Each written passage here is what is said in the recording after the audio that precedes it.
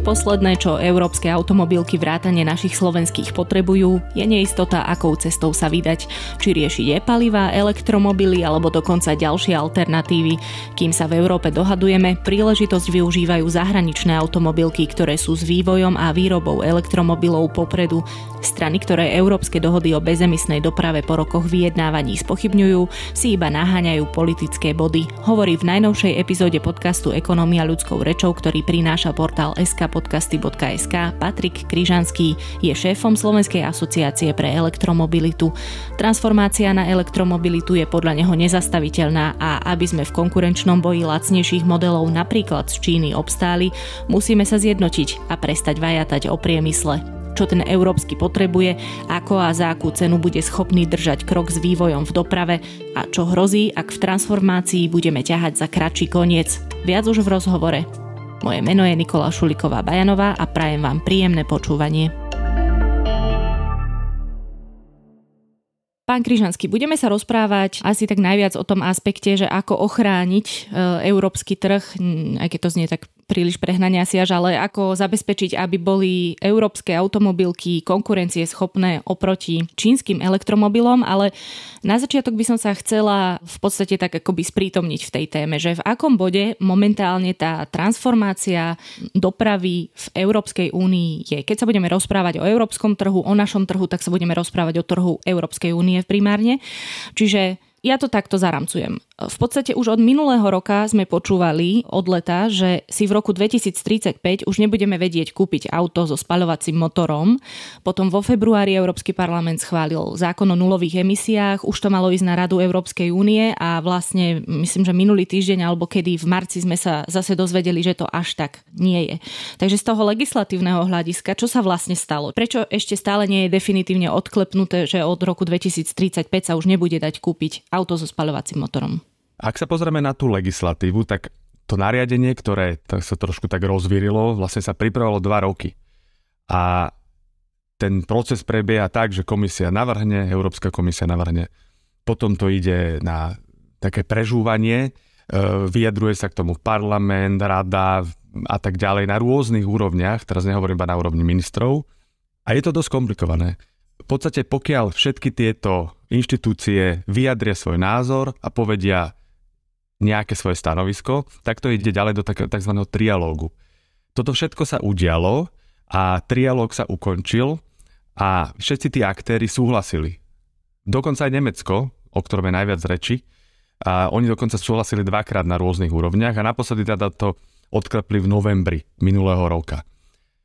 Všetci boli spokojní, lebo v podstate ten proces je už potom iba taký formálny, musia súhlasiť ministri na Európskej rade minister životného prostredia je to v našom prípade. A tu sa Nemecko zašprajcovalo a zistilo, že úplne takto isté si nie je. A je to z rôznych dôvodov, o ktorých sa môžeme rozprávať, ale v podstate v poslednej chvíli nemecký minister dopravy povedal nie. A teraz otázka prečo, môžeme sa o tom baviť, prečo. Otázka, či je to dobré, aj o tom sa môžeme baviť. Je tam ale mnoho rizik. Okrem toho, že je to riziko že vnášate do nejakého politického procesu také na poslednú chvíľu vytvárané pseudoargumenty, respektíve e, vytvárate aj nejakú neistotu v tom procese. Inak povedané, takýto krok nikdy nikto neurobil. Že na poslednú chvíľu niečo zablokoval, keď to už bolo viackrát dohodnuté. A obava je, a to sa nebude týkať iba tohto konkrétneho nariadenia, ale aj iných, že toto začnú využívať mnohé krajiny, ktoré budú takto vydierať v tom procese prakticky povedané, Maďarsko môže na poslednú chvíľu povedať, mne sa toto nepáči, aj keď povedali dvakrát, že sa im to páči. A čo je dôležité, a v tomto prípade a v našej téme ešte dôležitejšie, že to dáva veľkú neistotu celému priemyslu. A to sa dotýka aj Slovenska, pretože ak si predstavíte, že doteraz e, sa rozhodovalo a aj rozhodlo, že o 2035 sa budú môcť predávať iba bezemisné vozidlá. Mimochodom, toto je veľmi dôležité povedať, že my nehovoríme o zákaze spalovacích motorov, my hovoríme o tom, že od dnes, a inak prakticky už od roku 2020, až do roku 2035 sa postupne budú musieť znižovať emisie z vozidiel, osobných a dodávkových dodávok, až do tej nuly do roku 2035. A potom sa budú predávať iba bezemisné.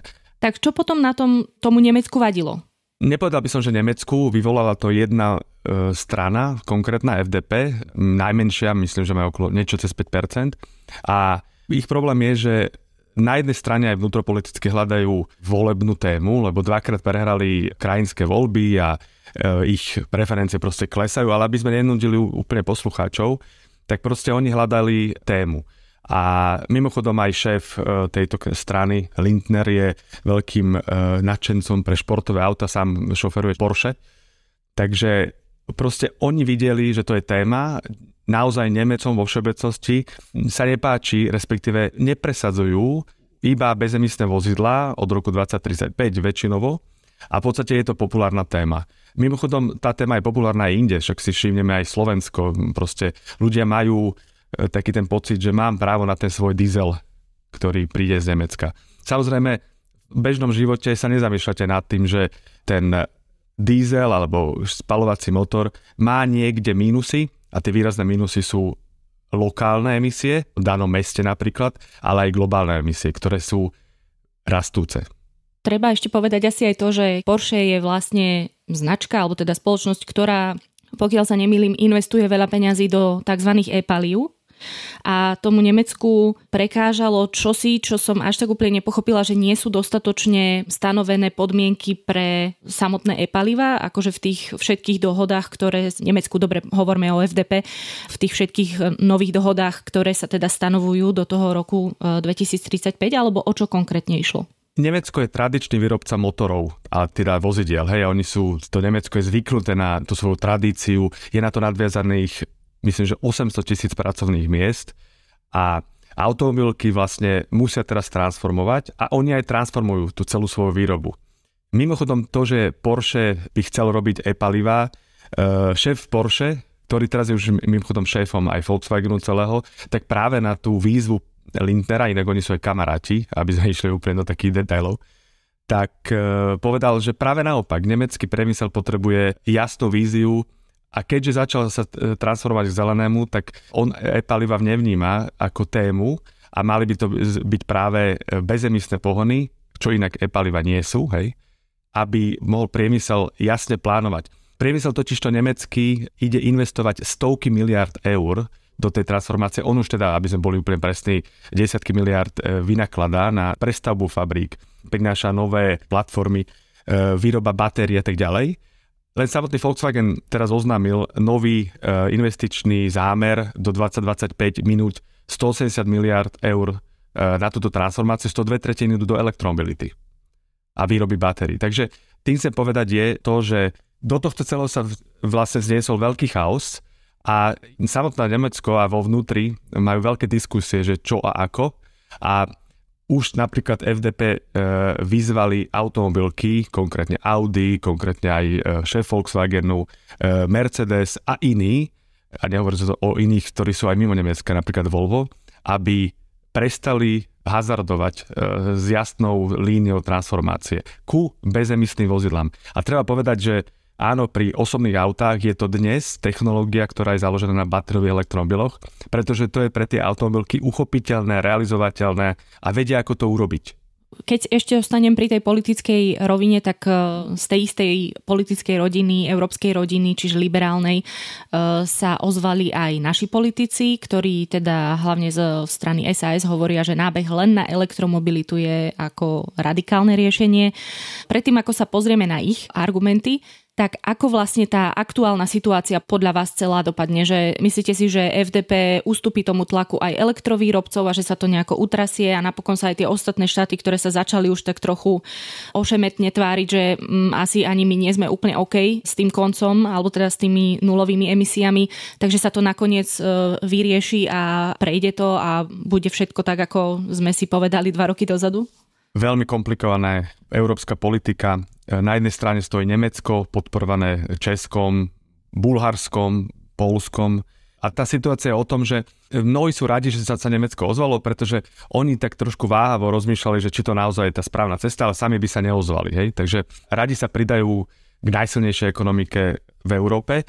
A teraz naozaj tá najmenšia strana vlastne vyšla s tou agendou, ktorá bola vnútronemecká a až dokonca, že vnútrokoaličná v Nemecku na úroveň Európskej únie Na druhej strane Francúzsko, ktoré doslova ide že na barikády, pretože by veľmi jasne povedali, že sú absolútne proti takémuto uneseniu témy Nemeckom na poslednú chvíľu. Mimochodom, francúzske predsedníctvo dohadovalo pol roka vlastne aj kompromis e, k tomuto nariadeniu a toto nariadenie nie je vôbec také, ako na začiatku bolo navrhnuté. Ono je už po kompromise, ktorý vlastne zobral do úvahy aj mnohé iné váhavejšie nejaké pohľady. A potom k tomu sa samozrejme pridáva Holandsko, Dánsko a tí, ktorí sú vlastne tí zelení a tí, ktorí sú, povedal by som, v tom pokroku smerom ku e, zelenej ekonomike taký progresívnejší. Podľa mňa to do, dopadne kompromisom. Dá sa možnosť e, Nemecku, aby Európska komisia prehodnotila pohľad na e-paliva niekedy v polčase, sme roku 2026. S tým ale, že treba sa pozrieť aj na to, čo sú vlastne e-palivá aké možnosti vlastne ich nasadenia reálne sú na trhu, kedy budú potenciálne pripravené, koľko ich budeme mať v roku 2035, ako umožňujú vlastne tú bezemisnosť, respektíve spornú bezemisnosť, skôr emisnú neutralitu. A vlastne hovoríme možno o tom, čo ani nebude realitou 2035, lebo na konci dňa tie spalovacie motory, pretože nebudú bezemisné, naozaj postupne zaniknú.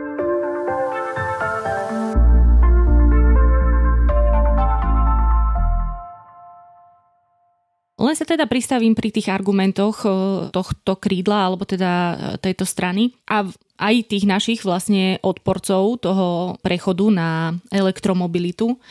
Sú tam určite veci, ktoré aj vás akoby eh, zaujímajú, trápia, hej, že keď sa hovorí, že budeme napríklad potrebovať niekoľkonásobne viac lítia, ktoré u nás nemáme prirodzene, e, že nevieme ho prirodzene ťažiť alebo možno na úkor nejakých e, opäť štandardov ochrany životného prostredia, čiže nevieme ho ťažiť v Európe. Zároveň, že a to je tá hlavná otázka, to možno ten náš priemysel nestihne úplne tú transformáciu, alebo že za akú cenu e, sa transformuje, že či je to naozaj dobrá politika ísť tak tvrdo, nekompromisne a možno, že či to nemalo trvať ešte trošku dlhšie a podobne, že či je to dobré sa tak e, vrhať do tej elektromobility. Také tie argumenty, to sa priznám, že veď auta dnes sú príliš drahé a nemajú až taký dojazd a nemáme takú sieť e, elektronabíjacích staníc. Beriem ich ako úplne e, validné, ale na druhej strane veď ani prvé auto na spalovací motor nedosiahlo rýchlosť 200 km za hodinu hneď, hej, že to boli rýchlosti, keď sa nepozeráme na tie športové pretekárske auta, tak tie išli, čo ja viem, 16 km za hodinu, čiže akože ten pokrok príde samozrejme, ale že za akú cenu? Ten pokrok inak prichádza veľmi revolučne, musím povedať, až prekvapivo, takže to, keď sme hovorili o nejakých takých srandovných elektromobiloch niekedy v roku 2013, o 10 rokov sú to elektromobily, ktoré majú reálne dojazdy 500 km a viac. A v podstate každé 2-3 roky sa ten dojazd e, predlží výrazne. A rovnako nabíjace stanice, my máme aktuálne 1500 nabíjacích bodov na Slovensku a musím povedať, že my sme v plienkach samozrejme e, oproti aj iným krajinám, najmä na západe. Takže nebal by som sa vlastne tohto celého technologického pokroku, lebo on sám aj tými investíciami, ktoré automobilky do dávajú, a sú to naozaj stovky miliard, sa vlastne zlepšuje celá tá technológia. Ale teraz späť k vašej otázke. Slovenský automobilový priemysel a všetky tie značky, ktoré u nás sú, a tá piata, ktorá príde, Volvo, e, všetky povedali, že prechádzajú na elektromobilitu. A teraz veľmi dôležité je naozaj povedať to, že elektromobilita, to je to presne to uchopiteľné, batériová elektromobilita, to uchopiteľné, ktoré tie automobilky vedia zrealizovať, aby sa dostali k tým bezemistným vozidlám, lebo všetky ostatné alternatívy sa síce o nich rozpráva, ale buď sú neúplne bezemisné, alebo v realite ich neviete úplne nasadiť, lebo sú neefektívne, ale výrazne neefektívne, e, drahé a tak ďalej. Hej, a kľudne môžeme o nich hovoriť. To znamená, že vychádzame z toho, že automobilky, ktoré u nás sú, transformovať chcú a musia a dokonca majú aj nastavené plány na nové produkty, typicky Stellantis v Trnave, 4 nové batériové elektromobily budúci rok. Vo všetkých automobilkách sa u nás už elektromobily vyrábajú, máme z milióna aut približne 16% elektrických vozidel, ktoré vychádzajú z našich fabrík. To znamená, že my nie sme tí, ktorí by sme práve potrebovali takúto neistotu. A práve čo je dôležité hovoriť a aj mierim na tých našich politikov z jednej strany, teraz Osasky, je, že oni nerozumejú dvom veciam. Prvom rade, že to nie je zákaz spalovacích motorov a je to 2035 iba bezemisté vozidlá. To znamená, že tam je technologická neutralita. Vždy hovoria, že iba elektromobilita. Automobilky tlačia elektromobilitu, lebo to je tá technológia, ktorú vedia realizovať. Takže technologická neutralita tam každopádne je. Druhá vec je, že naše automobilky sú posledné, ktoré by potrebovali neistotu, či ideme, či nejdeme, či majú ešte vyrábať spalovacie motory alebo nie. Lebo úplne praktický problém je, že vy neviete vyrábať ako automobilka dva úplne iné typy pohonu. Vy neviete investovať do spalovacích motorov, zefektívnenia a tak ďalej, znižovania emisí a zároveň aj vyvíjať a dávať veľa, veľa investícií do technológií, ktoré sú nové, a teda elektromobilita je nová, to znamená zefektívňovať e, tie platformy, e, dávať stovky miliard eur do výroby batérií, pretože práve investíciami do batérií viete dosiahnuť lepší výkon, e, lepší dojazd, lebo je vyššia energetická hustota batérií. Viete dosiahnuť aj to, že budú výrazne nižšie pre poslucháčov. Práve tými investíciami sa od roku 2010, 2010 do dneška podarilo znížiť priemernú cenu batérie na kWh z približne 1100 dolárov na dnešných okolo 150 dolárov. To znamená, že to je výrazné zníženie a preto sú elektromobily v podstate výrazne lacnejšie, respektíve majú oveľa viacej dojazdu a majú lepšiu technologickú vyspelosť. Pretože investíciami zvyšujú efektívnosť, zlepšujú tú technológiu. Takže, aby som to veľmi jednoducho e, zhutnil, vyjadrenia Sasky diplomaticky poviem sú nešťastné a nepochopenie vlastne reality. Realita práve pre Slovensko je, aby mali tie automobilky veľmi jasné smerovanie a nie nejaké vajatanie.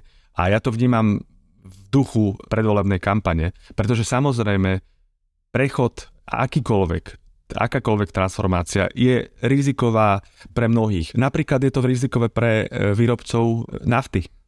Musíme sa pozrieť na to, že nafta, respektíve benzín alebo teda pohodné hmoty, možno budú mať ten tzv. peak demand, špičkový dopyt, podľa prepočtov v roku 2023 to sú tie najrýchlejšie, to možno skôr nie, ale možno v roku 2025, a to hovoria nie amatérsky v ekonomii, to hovorí Bloomberg. A vlastne riziko pre tých, ktorí to vyrábajú, predávajú obrovské. Každá transformácia má určite aj svojich lúzrov. A báť sa ale o to, že tá transformácia práve ohrozí Slovensko, je presne nepochopenie tej situácie. Nás ohrozí neistota, lebo mám 13-14% HDP tvoria automobilky, automobilový priemysel a keď my vlastne tento prechod jasne nepodporíme, on zostane v neistote, ktorú on nepotrebuje pre ten svoj biznis. Mimochodom, a nielen preto, lebo celá transformácia stojí peniaze a potrebujú istotu, ale Európa nie je jediná, ktorá transformuje za dverami sú Číňania a za dverami sú Američania. K ním sa ešte dostanem, ale práve pri tých Američanoch e, som chcela aj doplniť, že keď hovoríme o tom, že od nejakého roku si už nové emisie vypúšťajúce auto nekúpime, tak to nie je len preto, lebo na to tlačia rôzne štáty, ale napríklad aj General Motors a Ford povedali, že od roku 2035 už nebudú vyrábať e, emisné auta, alebo teda auta, ktoré vypúšťajú emisie. Ešte sa ale predsa len pristavím pri tej otázke tých batérií, lebo to je ako veľká časť hodnoty toho vozidla, že tamto teda naozaj ako vyzerá s tým, kde my vlastne a kde tie naše automobilky, ktoré sa aj same rozhodnú, že idú cestou elektromobility, kde budú vlastne brať teda tie, a nie je to len litium, hej, je to grafit, e, kobalt, nikel a tak ďalej. Odkiaľ to pôjde?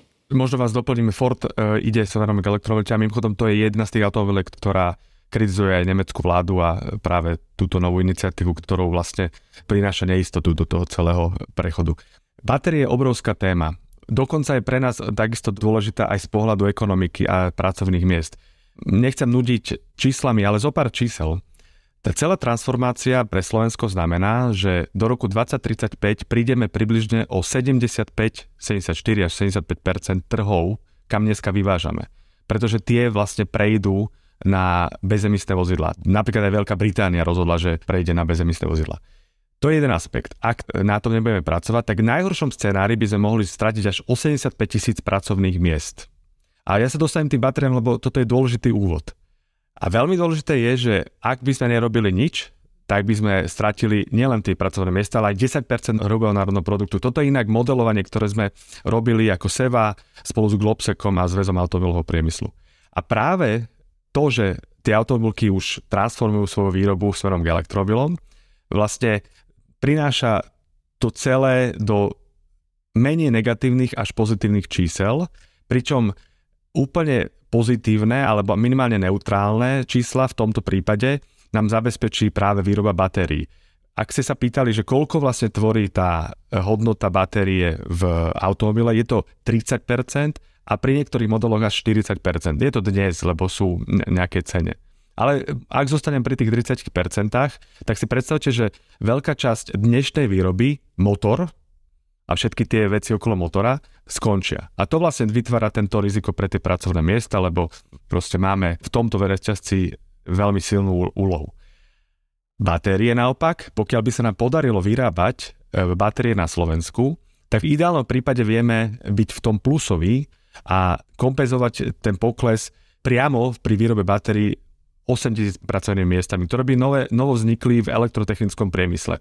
Pre vašu informáciu, jedna Gigafactory, ktorú napríklad Volkswagen plánuje niekde v strednej východnej Európe, teraz ju odložil síce, ale ona raz príde, e, zamestnáva 4 až 5 tisíc ľudí.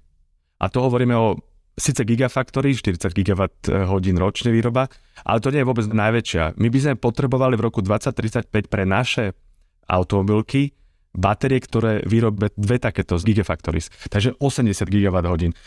5 našich automobilek bude potrebovať 80 gigawatt hodín, čo sú dve takéto gigafactories, ktoré stoja v miliardách eur investície a tisíce zamestnancov. A teraz k tým e, súrovinám, že či je to vlastne realizovateľné, či je to dobré. Poviem globálne. Či je dobrý rok 2035? No ja by som povedal, že je až neskoro. Neviem, že či si e, všetci uvedomíme, že každým rokom je nám teplejšie v lete a jediné emisie, ktoré neklesajú, sú tie z dopravy. Dlhodobo sa nám podarilo znížiť emisie z priemyslu, z výroby elektriny, ale v doprave trvalo stúpame a cestná doprava a osobné vozidlá sú veľmi silnou časťou tohto. Takže to je ten globálny pohľad. A ja si myslím teda, že už e, je dosť času, a respektíve koniec toho času, aby sme vnímali naše ovzdušie ako žumpu.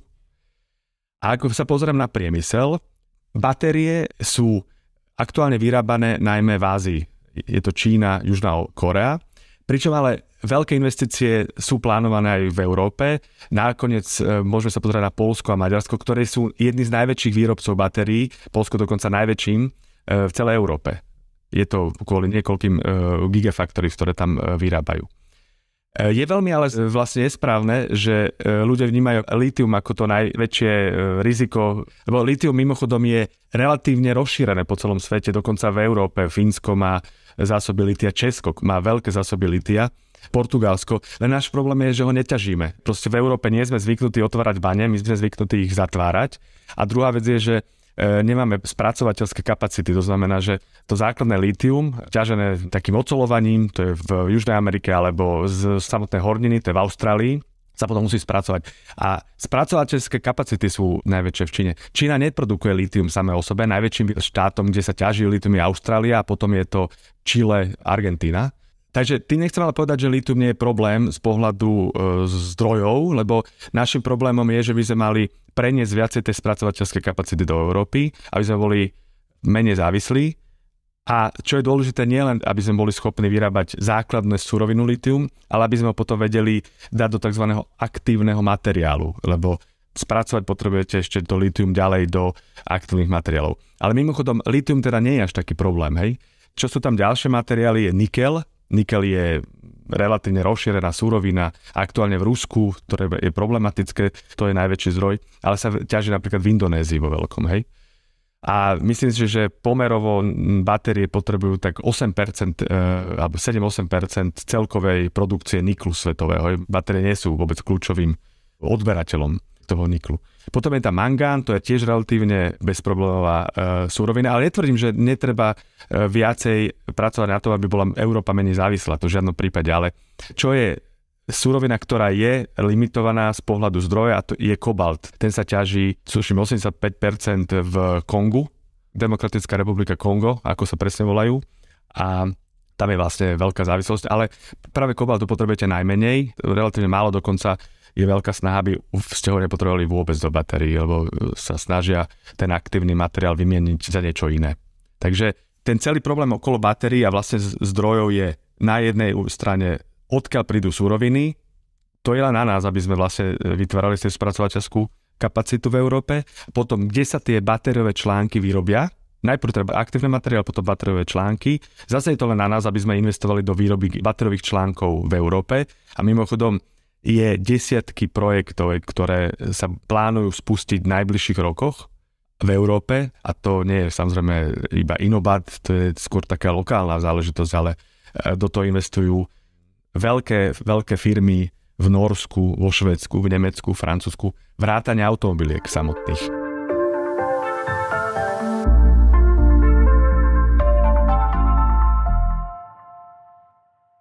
Zatiaľ, čo sa vlastne e, v Európe horlivo debatuje o tom, že či áno alebo nie, teda elektromobily, tak e, príležitosť doslova využíva aj Čína, ktorá z desiatich najväčších výrobcov elektromobilov, myslím, zastupuje 5 miest celosvetovo. A teda uh, chcem sa spýtať, že v prvom rade, aby to nebol len taký samoučelný strašiak, hej, tá Čína, ako býva vo veľa prípadoch, tak vnímate aj vy ako priemyselné ohrozenie to, že e, sa na náš trh importujú modely elektromobilov z Číny? Všeobecne by som povedal, že Čína má veľký náskok v mnohých aspektoch elektromobility. Totižto Čína e, chcela vstúpiť do automobilového priemyslu pred 10-20 rokmi, ale nevedela nasadnúť na to konia z toho pohľadu, že vyrobiť motor, ktorý sa predtým 80-90 rokov vyrába veľmi úspešne v Nemecku a Francúzsku, je veľmi náročné. A vlastne tie nemecké automobilky, aj samozrejme francúzske a iné, mali motor tak dokonalo nadizajnovaný a jeho výrobu optimalizovanú, že Číňania nevedeli proste byť konkurenceschopní. Za to v elektromobiloch začali skôr ako Európa. Z pohľadu elektromobilu e, vlastne nie, nie je problém v prípade motora, lebo ten tam nie je. Sú tam samozrejme elektromotory, ktoré tiež môžete optimalizovať, ale to je relatívne výrazne jednoduchšia technológia. Zároveň je tam veľmi silná časť toho, a to sú tie batérie, kde v Čína sme si už povedali, že hrá veľmi dominantnú rolu. To znamená, že čínske automobilky E, v tomto majú náskok, minimálne časový. A teraz, v čom majú ešte náskok je v predajoch. My si síce neuvedomujeme, že možno vnímame Čínu ako menej rozvinutú v mnohých aspektoch, ale najväčším spotrebiteľom elektromobilov je Čína. Z minuloročných, tuším, 12 miliónov celkovo predaných elektromobilov vo svete, väčšinu tvorila Čína, kde sa vlastne elektromobily umiestňovali. Ale nie, že z desiatich automobiliek vedli najmä čínske automobilky. Tri z piatich najväčších boli tieto čínske. E, dokonca, ak sa nemýlim, tak prvé dve sú čínske, potom je Tesla, potom je zase Čína a potom je Volkswagen, alebo tak nejak to je pomiešané. To znamená, chcem ti povedať, že oni aj vyrábajú a vyrábajú veľmi dobré zaujímavé modely. My to ešte možno nevidíme na našom trhu, ale v západnej Európe sa tieto značky predávajú veľmi úspešne, pretože sú nastavené na nižšie ceny, ale so zaujímavým dizajnom, so, s dobrou technológiou a stávajú sa veľmi, veľmi konkurencieschopné práve s našimi e, autami. A hlavne pri elektromobiloch by som tú cenu nižšiu nepovažovala vôbec za nejakú akoby nevýhodnejšiu pozíciu na trhu, práve naopak, pretože elektromobily sú v, v súčasnosti, ako sme aj na začiatku povedali, naozaj drahšie oproti tomu, ako sa bežne pohybujú ceny dnes kupovaných automobilov. Ja by som si pomohol výrokom šéfa Stellantisu, ktorý povedal minulý, tuším december, na záver minulého roka, Tavareš, kde varoval vlastne, že potrebujeme výrazne zrýchliť tú transformáciu, potrebujeme aj pomôcť európskemu priemyslu, aby tú transformáciu na elektromobilitu urobil rýchlejšie, pretože najmä aktuálne v strednej triede a aj nižšie, ale najmä v strednej triede, kde práve Stellantis je veľmi silný, aj tam je Renault a tak ďalej, klobu na dvere Číňania, a mimochodom niektoré značky už otvorili predaje na Slovensku, ale my sme v tomto nezaujímaví. Zaujímavé sú z pohľadu predajov Francúzsko, Nemecko, Veľká Británia, Holandsko, tie severské štáty, kde sú naozaj za minulý rok rekordné predaje, opätovne rekordné predaje elektromobilov a jednoducho Číňania sú veľmi aktívni. A teraz ja vôbec nechcem povedať, že Číňania sú zlí. Číňania sú aj Polestar, ktorý my vnímame ako Volvo, ale vlastne ich Číňania. A keď sa pozriete na Polestar konkrétne, tak e, to auto vyzerá veľmi, veľmi konkurenčne. Číňania sú aj MG ktorý vnímame my ako tradičnú značku, podľa mňa e, vnímame ako britskú značku, ale ten elektromobil vyzerá veľmi použiteľne a keď idete po Londýne, sa prechádzate, tak tam tie elektromobily čínske vidíte. Tým chcem len povedať, že ak my chceme pomôcť týmto našim automobilkám a vo všeobecnosti aj európskym automobilkám, tak výkriky typu nie, nie, nie, porozmýšľajme ešte, nás môžu prísť draho práve preto, lebo nebudú mať jasný smer, že áno, v roku 2035 to naozaj príde, nie, už nemusia investovať ďalej do spalovacích motorov, pretože e, si to niekto tuto vymodlil e, v poslednej chvíli, vytvoril si z toho politickú agendu, aby sa nebodaj zachránil vo voľbách. Isté, ale ešte stále, ak niekomu nedochádza, jednoducho, nie každému to musí hneď na prvú udrieť, že aké sú argumenty proti tomu, aby sa tu predávali, ako hovoríte, aj konkurencie schopné a ešte aj lacnejšie modely z Číny. Vôbec nemám proti tomu nič. Oni jednoducho prídu a absolútne budú e, vnímané ľuďmi postupne ako auta, ktoré si budú ochotné kupovať.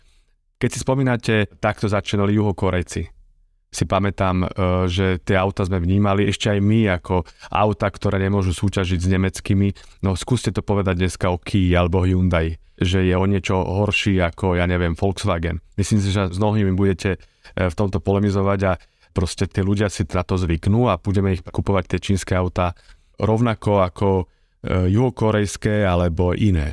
A čo je dôležité ešte, že treba povedať, že Číňania si postupne tie fabriky urobia aj v Európe.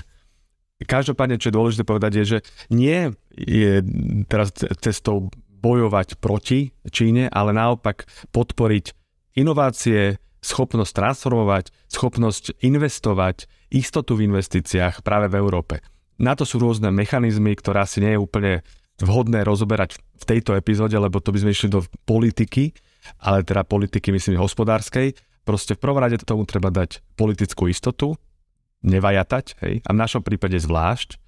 V druhom prípade treba dať tomu nejaký impuls, aby tie automobilky chceli investovať do výroby v Európe, aby chceli by investovať do batérií, Tuto napríklad súťažíme so Spojenými štátmi, ktoré majú nový mechanizmus, tzv. Inflation Reduction Act, ktorý výrazne podporuje investície práve do takýchto zelených technológií. Nie je to iba automobilový priemysel, batérie, sú to aj veterné turbíny a tak ďalej. Proste sa snažia prilákať ten priemysel, aby investoval v Amerike. A predstavte si, Volkswagen otvára e, novú výrobu batérií nie v Európe, ale v Kanade. Pretože rozhodol sa, že aktuálne odloží tie investície v Európe, kým sa to tu nevyrieši. A samozrejme je to aj do veľkej miery očakávanie, že príde nejaká odpoveď a budeme podporovať tie investície práve v Európe. Keď ich tu chceme, inak to aj nejde. A čo hovoríte ľuďom, ktorí tvrdia, že toto všetko sa deje na úkor životnej úrovne, že vlastne tým, že ideme mm, nekompromisne touto cestou, touto zelenou cestou, videla som teda už aj také diskusie, tak si znižujeme vlastnú životnú úroveň, pretože neženieme tú ekonomiku do toho vysokého rastu. Mám na to dve odpovede. Pripomeniem to oteplovanie a tú žumpu. A toto som už hovoril. E, neviem, že dokedy mienime e, vnímať naše emisie ako irrelevantné, ktoré sú menej dôležité ako E, životná úroveň. Ale keď ideme k životnej úrovni, tak ten, čo naskočí najskôr na tento vlak, tak z tohto bude ťažiť najviac. Ekonomicky. Pretože so zelenou transformáciou prichádzajú investície.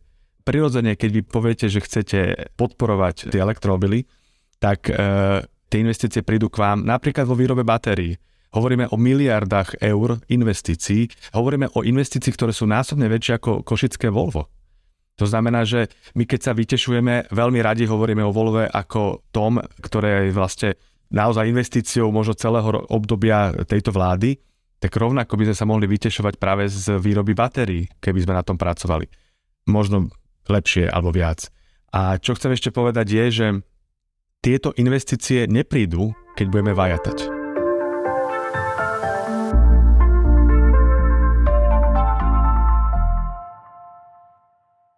Ešte by sme sa vedeli určite rozprávať dlho aj o tom, ale to nie je s podstatou tohto podcastu, že ako zelené je auto, ak je nezelená výroba elektriny a keď sa treba pozrieme aj na to Nemecko, ktoré odstavuje jadrové elektrárne a stále si drží pri živote uholné elektrárne, tak to by bolo zase na veľa. Tak v krátkosti môžete niečo? Je to veľmi e, jednoduché a na to je množstvo štúdií a na to vôbec netreba veľmi nejak ukazovať. A je to skôr mýtus aj to Nemecko a dokonca aj to Polsko, ktoré v tomto energetickom mixe úvodzovkách špinavšie, tak ušetrí emisie, ak prejde na elektromobilitu. A poviem čísla. V priemere na energetický mix celej Európskej únie je to 55% emisí, ktoré by sme mohli ušetriť, keby ste zajtra prestúpili z elektromobilu na spalovací motor, teda keby sme to všetci spravili. Hej. V prípade najlepších krajín, napríklad Švédska, je to 85 až 90%, alebo Norska, prípade krajín ako my, ktoré máme práve tú jadrovú energiu, ktorá je CO2 bezemisná, eh, je to okolo 75-80% ušetrných emisí. A ešte aj to Polsko, ktoré vyrába tú elektrinu z uhlia, ušetrí vyše 25%. To znamená, je mýtus, že keď spochybňujeme eh, zelenosť elektromobilov, lebo vo v každom prípade, ešte aj v tom najhoršom, ušetrite a môžete pomôcť životnému prostrediu. No a keď už ste spomenuli Norsko, tak e, tým by som to asi aj uzavrela, toto naše rozprávanie sa, alebo Norsko-Švedsko, tak tam vlastne môžeme hovoriť vyslovene o takej tej pozitívnej hospodárskej politike smerom k elektromobilite. Ako sa možno, alebo ja viem, že oni sú naozaj veľa, veľa krokov pred nami, ale že ako sa v rámci celej Európy možno poučiť z toho nástupu Norska na elektromobilitu, e, že či tam vieme identifikovať nejaké možno typy, ako na to ísť a neísť. Lebo trebárs išlo sa tam formami, či už teraz neviem, či dotácie, ale každopádne nejaké výhody s parkovaním, s jazdením a tak ďalej. Tesla tam má najväčší podiel na trhu, ak sa nemýlim. A dnes už sa im vlastne končia tie výhody, musia zaplatiť daň z váhy vozidla a takisto už začínajú platiť aj nejaké normálne dane, ktoré dovtedy mali odpustené. Tak e, čo by ste možno z toho vypichli ako plusy a mínusy? Norsko je ten príklad, ktorý je najďalej. E, mimochodom, aj keď hovoríme o tom, že by mali byť nejaké výhody pre elektromobily, tak nehovoríme o väčšných výhodách, hovoríme o nejakom stredodobom horizonte možno 3-4 roky, aby sa to rozbehlo. A takto je v Norsku a ja by som bol veľmi rád a kľudne by som aj loboval za to, aby sa v prípade Norska tie výhody skončili, veď e, samozrejme keď už je ten mainstream elektromobil, tak ako to je v Norsku, väčšina predajov, tak nemusíme hovoriť o tom, že potrebujete dotáciu. Tak aby sme nešli úplne e, ukazovať extrémom, ale dobrým príkladom je Holandsko, dobrým príkladom je Nemecko, kde takisto tie predaje sú v desiatkách percent, nechcem teraz uh, úplne do detailov, minulý rok to bolo na celoeurópskej úrovni štvrtina uh, zo všetkých vozidiel, ktoré boli elektrifikované a v týchto krajinách to bolo často aj viacej, samozrejme najviac na severe, potom najmenej na juhu, vo Francúzsku okolo 13-14%, v Nemecku do 20% a v Holandsku viac a tak ďalej. Hej? A na to sa dá pozrieť z viacerých pohľadov. Samozrejme, jedna vec je, že potrebujete nejakým spôsobom stimulovať trh predaja to znamená, keď hovoríme o osobných autách, ideálne by bolo podporiť bežných ľudí nejakou dotáciou a nejakým zvýhodnením, ale čo je veľmi dôležité, zvýhodniť aj firmy, lebo väčšina vozidiel sa predáva firmám ako korporátne flíty alebo teda korporátne flotily a väčšina, úplne drvá väčšina elektromobilov sa predáva firmám, to znamená, že vy ich viete zvýhodniť daňovými opatreniami, ktoré mimochodom stojí veľmi málo, aby sa im to oplatilo aj ekonomicky hneď ísť do toho, inak im sa to oplatí vo všeobecnosti, lebo tzv. total cost of ownership, to znamená celkové náklady e, vlastníctva, e, sú pri elektromobiloch, keď ho používate nejaký počet kilometrov, tak lepšie a pozitívne. Hej? Ale samozrejme potrebujete aj na začiatku nejako motivovať tie firmy, aby si to kupovali do tých svojich flotil. Druhá vec je samozrejme nabíjacia infraštruktúra, na ktorej treba intenzívne pracovať. Máme nejaké plány z plánu obnovy, teda investície pôjdu tak do miest, ako aj podnikateľom a firmám, ale aj e, na diálnice, čo je veľmi dôležité, lebo potrebujete mať pocit, že keď idete do Košíc, tak vás to bude stať približne pár minút, aby ste si dobili e, niekde baterku, neviem kde, v, v Bratislavi, v Liptovskom Mikuláši, aby ste tam potom pohodlne prešli. Aj dnes prejdete, ale proste bude to veľa pohodlnejšie a to sú tzv. ultrarýchle nabíjacie huby, ktoré sa budú stávať aj z plánu obnovy. No ale dôležité je, že my, dnes, my máme vlastne celú epizódu, respektíve celú debatu nie o iba trhu, To znamená, že aby sme tu mali čistejšie ovzdušie práve z elektromobilov, ktoré používame, ale máme to v tej tretej rovine a to je priemysel. To znamená, aby sme transformovali a pomohli transformovať tým e, firmám e, s väčšou istotou a s jasnou víziou a zároveň, aby sme im to pomohli napríklad z pohľadu pracovných síl. Taký dobrý príklad je, že tá transformovaná automobilka bude potrebovať niektoré profesie iné prestanú vyrábať motor a budú vyrábať alebo montovať e, batériu. To znamená, potrebujete napríklad ľudí, ktorí majú e, vzdelanie alebo tréning v využívaní vysokého napätia. To znamená, sú to nejaké elektro, nie profesie, ale proste špecializácie. A dôležité je, že ak chceme napríklad rozvíjať baterový priemysel, potrebujete viacej chemických inžinierov, potrebujete iné typy e, vlastne pozícií, pretože taká Gigafactory sme si povedali, že potrebuje tisíce ľudí. Množstvo je samozrejme bežných robotníkov v odzovkách, ale stovky, stovky e, inžinierov, ktoré potrebuje takáto Gigafactory, pretože tam je vývoj tých batérií, optimalizácia tej chémie a tak ďalej. Čiže po tom všetkom, čo sme sa porozprávali, tak titulky typu Čína láme rekordy, do Európy exportuje kvanta elektromobilov alebo čínske automobilky už nakupujú megalode, chystajú sa do Európy a ešte mám jeden. Čína začína ovládať svetový trh s elektromobilmi, vyváža ich rekordné počty a dalo by sa pokračovať vám až tak zle nerobia. Alebo keď ich počujete, tak e, ste pokojnejší, lebo viete, že to vytvára práve ten pozitívny tlak na prechod k elektromobilom. Ako to máte? Keby som bol šéfom Stellantisu, tak by mi to robilo vrázky na čele, pretože už som rozhodol, že viaceré moje značky budú plne elektrické v roku 27-28, ale vidím, že moje náklady sú stále o niečo vyššie ako čínske, pretože oni proste majú e, lacnejšiu pracovnú silu a tak ďalej, takže určite by mi to robilo vrázky a nielen teda Stellantisu, aj to sú tie klasické Peugeot, Opel a tak ďalej, ale aj Renaultu a tak ďalej. Ale keď sa na to pozriem, tak samozrejme tomu sa nedá vyhnúť a s tom sa dá vlastne zabraniť len tým, že sa Európa stane konkurencieschopnejšia, že budeme prinášať nové modely, že Volkswagen práve ako príklad rozhodol o tých 120 miliardách do elektromobility roku 2025, že budeme vyrábať viacej batérií práve v Európe. Viete, že transformácia všetkého je riziko. A jak som povedal, aj táto transformácia bude mať svojich lúzrov.